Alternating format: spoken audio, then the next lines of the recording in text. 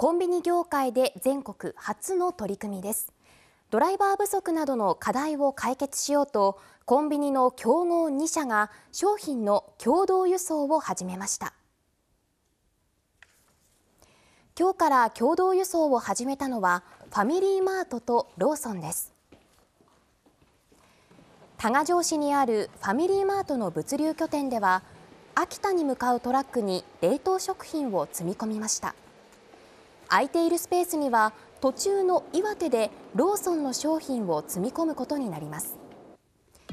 これまで冷凍食品についてファミリーマートは多賀城から秋田に。ローソンは物流拠点がある岩手盛岡から秋田にそれぞれ輸送してきました。今日からの共同輸送では多賀城でファミリーマートの商品を積んだトラックは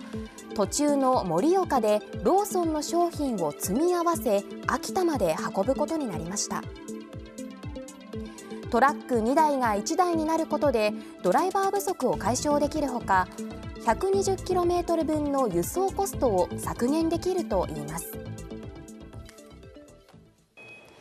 物流運送業界ではいわゆる2024年問題として今月からドライバーの時間外労働の上限規制が適用されるなど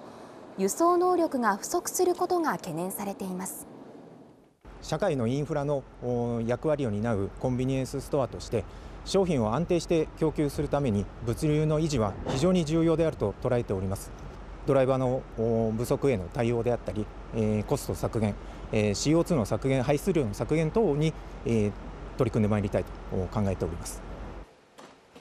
両社による共同輸送は商品の量が比較的安定する春と秋のシーズンでトラックに空きスペースがある場合に限り週半分程度のペースで行う予定で